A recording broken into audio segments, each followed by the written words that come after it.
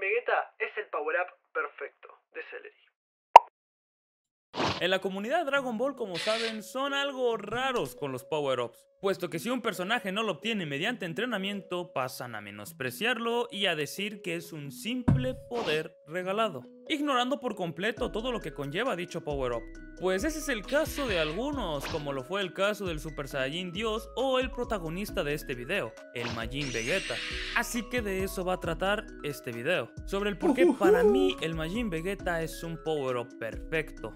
Pero antes de continuar le mando un saludo a Agustín Perogí, a Daxter, a Rudy Rosa y a Teddy Vicar. Este último no adivinó, pero pues dona bastante en el morado. También paso a recordarles que le den a like y que se suscriban, ya que el 84% de las personas que ven mis videos no está suscrita. Así que suscríbete, no te cuesta nada y a mí me apoyas un montón. Ahora sí, sin alargar más de introducción, comencemos. Hola a todos, yo soy Selvi y bienvenidos. Como ya sabrán, los power-ups de Vegeta suelen ser malos. Solo un par de estos se salvan, pero el Majin Vegeta es en cierto punto menospreciado. A ver, antes de ver el video, quiero pasar a lo quiero explicar lo siguiente, porque me parece que el último video de Júpiter Z que subió hablaba sobre los power-ups en general de Vegeta. Y Júpiter lo tachó al power-up de Vegeta con un, poder, un power-up regalado, puede ser, al Majin Vegeta, digo, puede ser. ¿Algo así era? ¿O estoy equivocado? No me acuerdo si lo tachó con un poder regalado, creo que sí. Creo que sí. Y yo me acuerdo que en ese video cuando lo vi, di mi réplica que dije, sí, para mí es regalado, pero tiene muchísimo contenido y trasfondo detrás, que no solamente es justo verlo como un poder regalado, porque si bien, si es regalado como tal, porque se lo dieron de arriba, no hubo esfuerzo, no hubo un pingo, pero hubo mucho trasfondo para que se den las consecuencias de decir, ok, quiero este poder, dámelo, ¿entendés? No es como Orange Piccolo que dice, Shenlong, copate, papito, copate, copate, ¿entendés? No es así. Eh, así que... ¿Cómo se llama? Así que yo creo que realmente eh, este power-up es espectacular. Yo o sea, ya lo saben. Primero que Vegeta es, es mi personaje favorito Casi que por mucho diría yo, pero estaba bastante parejo con el segundo. Pero bueno, pelea bastante. Eh, pero, ¿cómo se llama? Eh, este power up como tal es el mejor de Vegeta lejos, pero por escándalo, por todo lo que, eh, por todo lo que hay detrás y todo el peso narrativo que hay Cuando detrás. reaccionaste detrás quedamos que poder regalado igual malo. Yo dije eso, no me acuerdo, fue hace mucho, pero bueno. Pero, es- pero es regalado, eso sí. Sí, es regalado, pero repito, es injusto decir, no, el Majin Vegeta es súper regalado. Es injusto, muy injusto decir eso. Porque lo estás poniendo en la misma balanza que al puto Orange Piccolo o que al puto Gohan Bestia, que esos sí son poderes regalados. Y no es justo, literalmente no es justo tacharlo como un poder regalado, porque tiene mucha cosa detrás. Sería, sí, es injusto, literalmente, es injusto. Así que, bueno, nada, empecemos. por el hecho de no haber sido conseguido por entrenamiento y lo hacen a un lado por ser poder regalado. Así como lo mencioné en el video del Super Saiyajin Dios. En este caso, el Majin Vegeta es quizá una de las pocas cosas que están infravaloradas en el personaje de Vegeta. Pero bueno, comencemos por lo primero. Poder su regalado no quiere decir previa. que es un poder malo.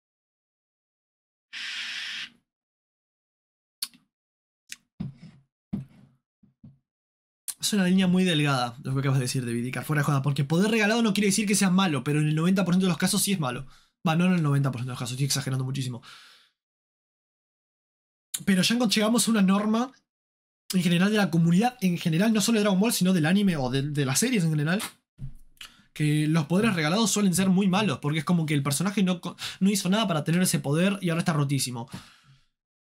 Pero es que al tratar eso, como dije recién, es que pones en la misma bolsa a todo cuando no es tan así, boludo.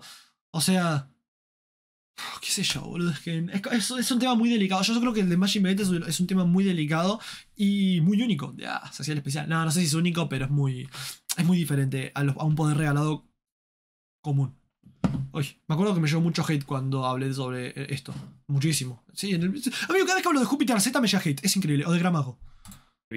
Y este power-up comienza a construirse en el momento en que Gohan y el Ultra Ego Root, el Ultra Ego todavía no está terminado de desarrollar. Por ahora es bastante piola, me encanta.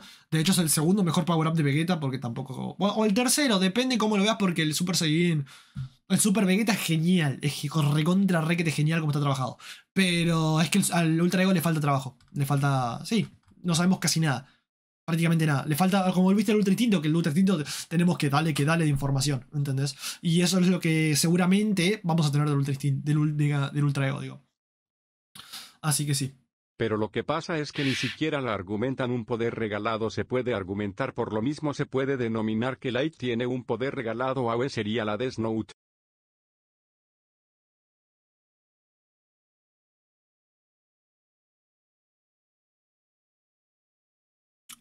Me- o sea, me hiciste flashear un poco porque es verdad, porque como tal es un poder regalado, pero es que hay que tener en cuenta que hay unas bases sólidas detrás de todo el tema de la Death Note, por ejemplo. En este caso también tenemos bases sólidas para el poder regalado, para que le regalen poder, para que le doten de un poder diferente. Ay, es complicado, boludo, no sé, es un tema que podremos debatir después de esto. Vemos el video y después lo debatimos.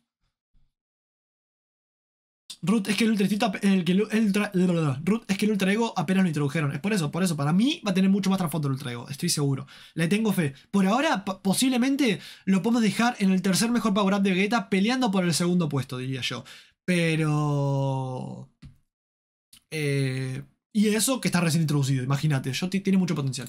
Y Vegeta dicen que participarán en el torneo, ya que al escuchar cómo Goku iría un día a la Tierra, Vegeta se emociona dándonos a entender que este a pesar de los años sigue sintiendo esa rivalidad con Goku, a tal punto que posteriormente Vegeta se toma demasiado en serio el combate de Goten y Trunks, con Vegeta echando en cara a Goku que Trunks es mejor que Goten. Posterior a esto se nos remarca que Vegeta sigue con el anhelo de vencerlo, poco a poco se va mostrando más claramente cómo Vegeta pasa de estar emocionado por poder vencer a Goku a pasar a estar a un nivel de desesperación al ver cómo el tiempo pasa y las situaciones hicieron que su combate se postergara. Esto lo vimos cuando deciden ir a ayudar al Supremo Kaiosama, maldiciendo y diciendo que odia a Goku por no quedarse para pelear con él. Pero sabemos que Vegeta es un personaje que no tiene mucha paciencia, mucho menos cuando se trata de demostrar lo poderoso que es en una pelea. Más ahora que ha estado 7 años entrenando y la oportunidad de su vida se está esfumando por la culpa del Supremo y la tontería que era no destruir la nave para no despertar a Majin Buu.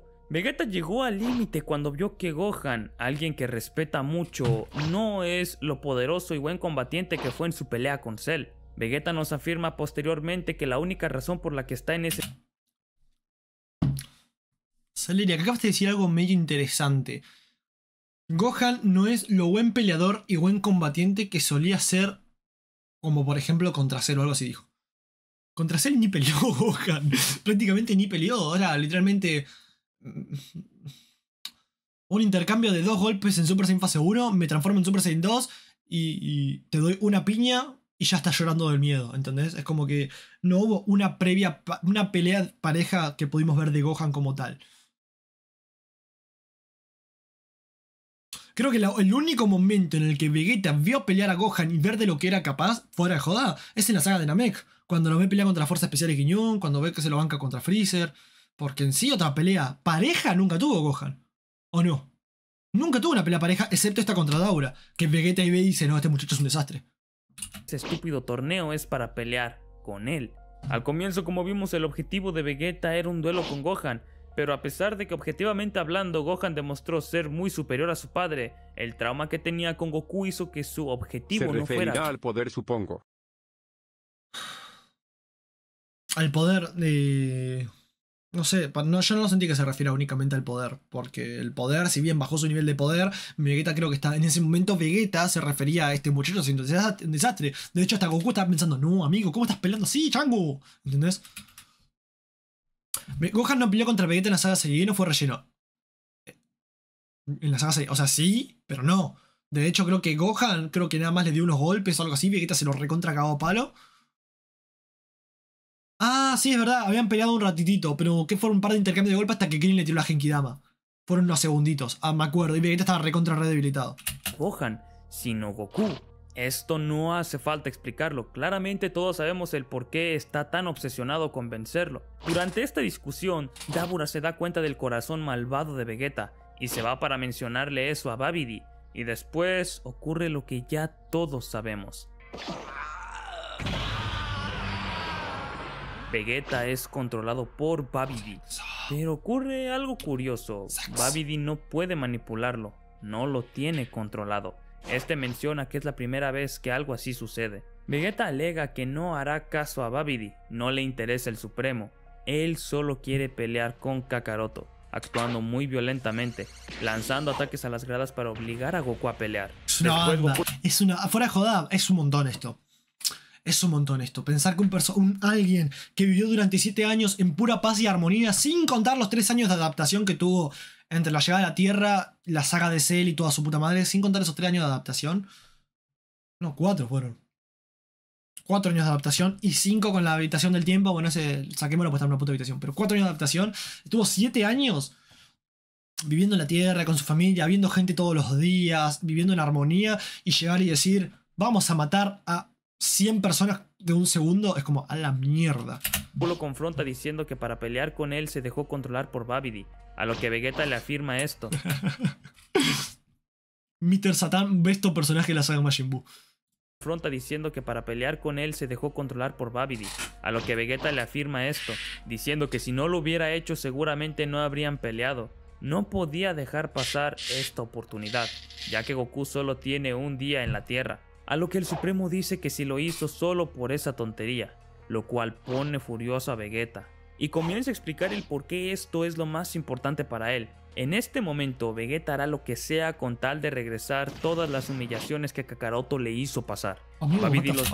¿qué onda Celery? Está ido con la puta edición, no me jodas. No mames. No mames. Amigo, me encanta. Mirá sea cómo mete las tal de cosas. regresar todas las ¡No te humillaciones. dejo! que- ¡Pará! ¡Pará! Acaba de sacar la pija y decir Bloom. Loco, así se edita un video de Dragon Ball, la concha de su madre. ¿Qué onda? Kakaroto le hizo pasar. Babidi los lleva Es una banda. Amigo, estoy acostumbrado. Es que estoy tan acostumbrado a ver videos de Dragon Ball en los que nada más pasan imágenes mientras la otra persona habla de fondo y es como. Ver a Celery es como. Me empalmo. Ah. No, pará. eh, mentira, Celery. Mentira. ¿O no? A otro lado para pelear y ahí una vez más este intenta manipular a Vegeta. Nuevamente no puede, alegando que es por el gran orgullo de Vegeta. Pero aquí yo quiero agregar algo que no se dice explícitamente en el manga, y es que Babidi no pudo controlarlo por completo, porque Vegeta para este punto no era alguien tan malvado. Como Vegeta menciona durante el combate, este estaba volviéndose cada vez más pacífico, teniendo una familia.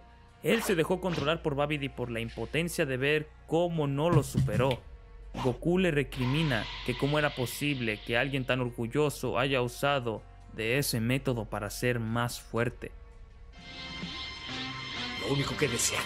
No, Celery está ido. Es increíble. Esta edición. No, no, no. Es un crack. Ser más fuerte. Lo único que deseaba era ser más fuerte. Y por eso entrenaba duro. Jamás me di por vencido. Maldición. Ese inútil de Kakaroto. Siempre es lo mismo. Siempre está tomándome la delantera. Detesto ese gusano. Cuando creo que ya lo alcancé, vuelve a alejarse. Vegeta, se supone que tú eres un guerrero muy orgulloso y aceptaste que Babidi te manipulara solo para volverte más fuerte. Esto es clave para confirmar el que Vegeta no fue controlado al 100% no tanto por su orgullo, el cual estamos viendo cómo colapsó en el momento en que aceptó ser controlado, sino que es el corazón del mismo Vegeta el que está purificándose de esta maldad. Por ese motivo Babidi no es capaz de controlarlo en su totalidad. Vegeta está engañándose a sí mismo diciendo que se siente satisfecho, que extrañaba ser como antes, ese guerrero frío, sanguinario. Por eso a Vegeta le llamó tanto la atención ser controlado, porque no solo sería más fuerte. Durante el combate de Spopovich y Videl se hace mención que este ha cambiado y que es casi reconocible, se comporta demasiado violento. Justo como Vegeta Ahora lo vemos, gente. Ahora terminamos el video y vemos lo que me puso Júpiter. quería volver a ser. Cuando Buu despierta, Goku le hace ver a Vegeta que es culpa de ambos, que Buu es demasiado poderoso. Vegeta le dice que no le importa, alegando que el control de Babidi le impide dejarse llevar por sentimientos, a lo que Goku le hace dejar de fingir, de ser falso, de querer aparentar algo que no es. Babidi no controló su voluntad. Vegeta accede, pero este no queda a Goku, no porque lo odie, sino porque él sabe que él es el responsable. No quiere que nadie más que él se haga cargo. Uy, Dios mío, es que Vegeta, si estuvieras vivo te chuparía la pija. puesto que Goku pensaba que era culpa de ambos, cuando la culpa era totalmente de él. Al llegar donde estaba Majin Buu, le dice que no se irá solo al infierno. Vegeta está listo para terminar con lo que comenzó, pero Sostuvo Majin esa Buu era impotencia por mucho tiempo, pero cuando obtuvo la solución para resolver esa impotencia fue cuando más se fue dando cuenta de que había cambiado. Es, buena reflexión, me gustó. Sí, demasiado para él. No era capaz de vencerlo. Tuvo que intervenir Trunks para que Buu no acabara con él. Posteriormente Vegeta se despide de su hijo, abrazándolo por primera y última vez, ya que él sabe lo que le espera, las consecuencias de sus actos, no solo los que cometió en ese día, sino toda su vida, esperando un poco de consuelo en la esperanza de ver a Kakaroto en el otro mundo, pero Piccolo le responde que eso será imposible. No le queda nada.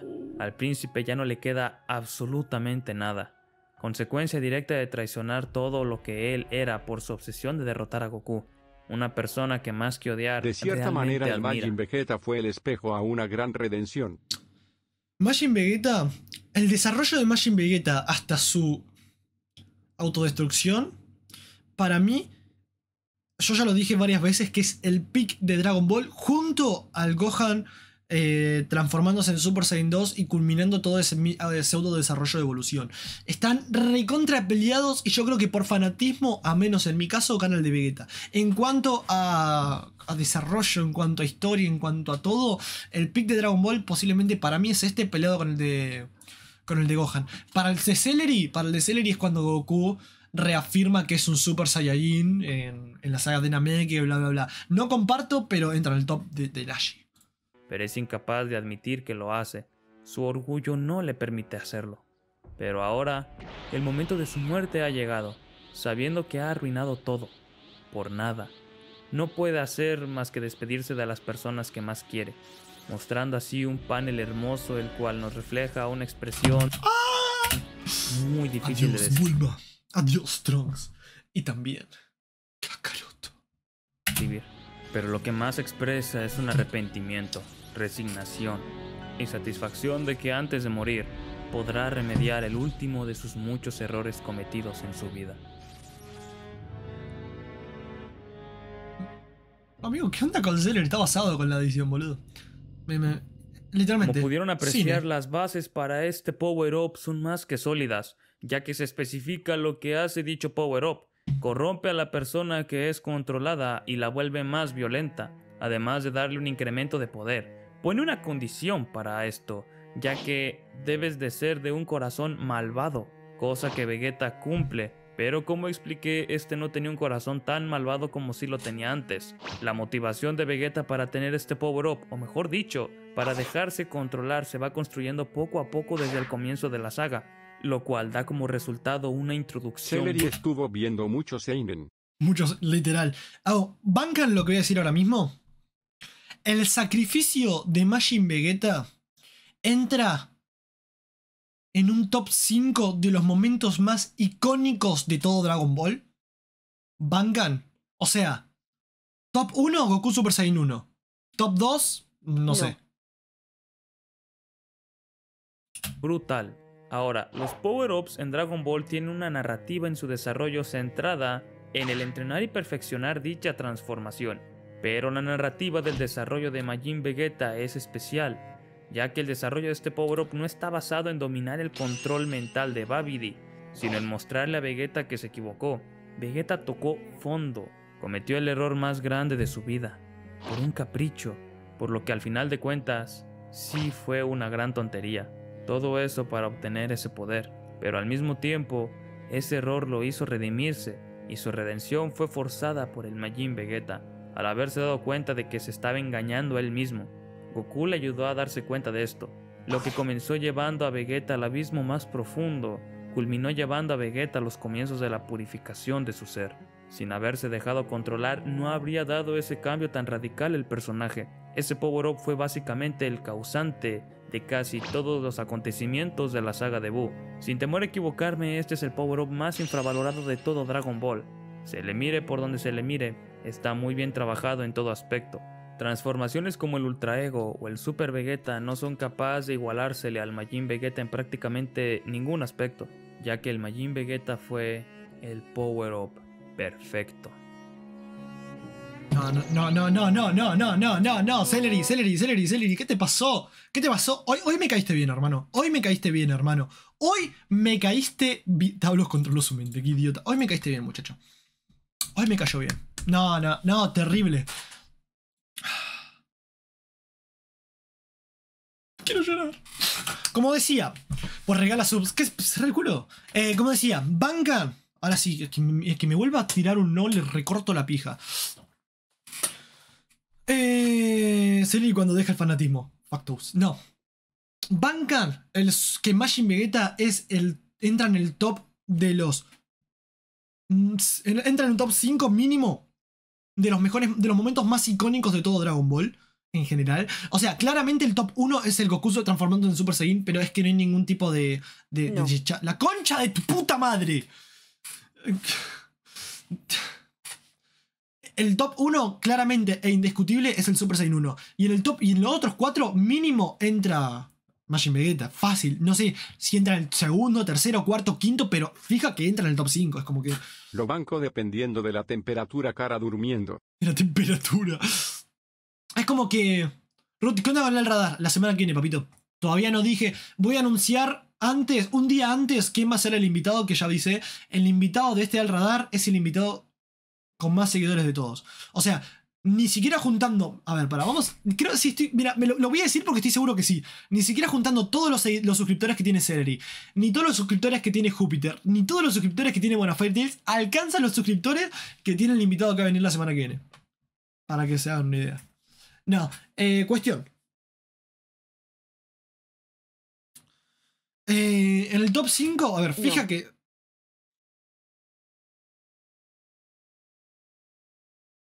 No importa, me puedes chupar la pija. Encima ahora es Celery, me puedes lamer el huevo derecho.